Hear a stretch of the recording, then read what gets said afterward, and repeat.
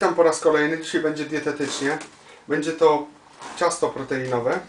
Na ciasto proteinowe e, potrzebujemy 50 g odżywki białkowej czy, o smaku czekoladowym lub truskawkowym, 60 g mielonych orzechów, 120 g płatków owsianych, pół szklanki wiórków kokosowych, 1 trzecia szklanki mleka kokosowego, jedna łyżeczka cynamonu, jedna łyżeczka ekstraktu waniliowego i dwie łyżki miodu.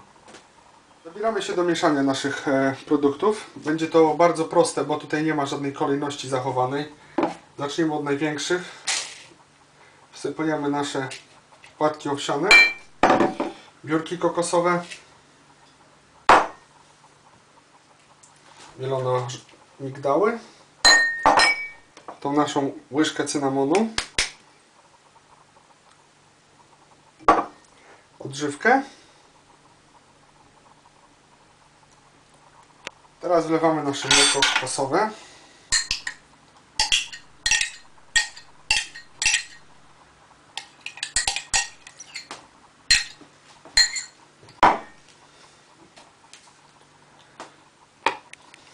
I dodajemy dwie łyżki miodu.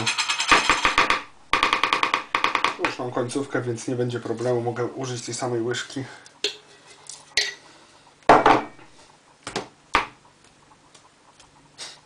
Bardzo się klei, ale jakoś daliśmy radę.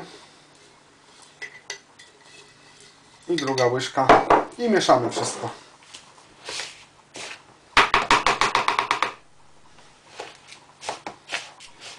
Postanowiłem resztę już ugnieść. Wychodzi nam taka jednolita masa, może pokażę. I mniej więcej rozdzielamy to na połowę. Mam nadzieję, że mi się to udało.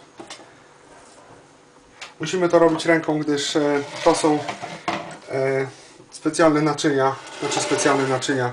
E, są to, to, są to teflonowe foremki i żeby ich nie porysować, nie trzeba także dodawać żadnego oleju.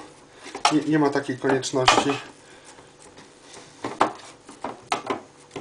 Resztę wyrównuję łyżką, żeby to w miarę równo się wszystko rozprowadziło.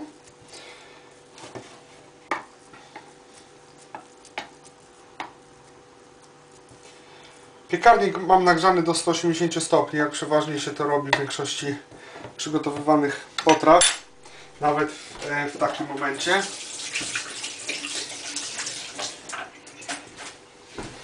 I otwieramy nasz piekarnik i wrzucamy.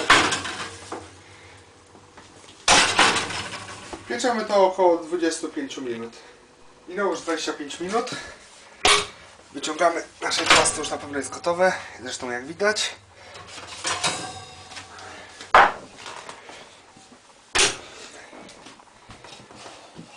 Do tego ciasta można jeszcze dodawać, jak jeżeli komuś będzie za mało słodkie, a nie powinno być słodkie, bo ma być dietetyczne, można dodawać e, rodzynki, przede wszystkim rodzynki.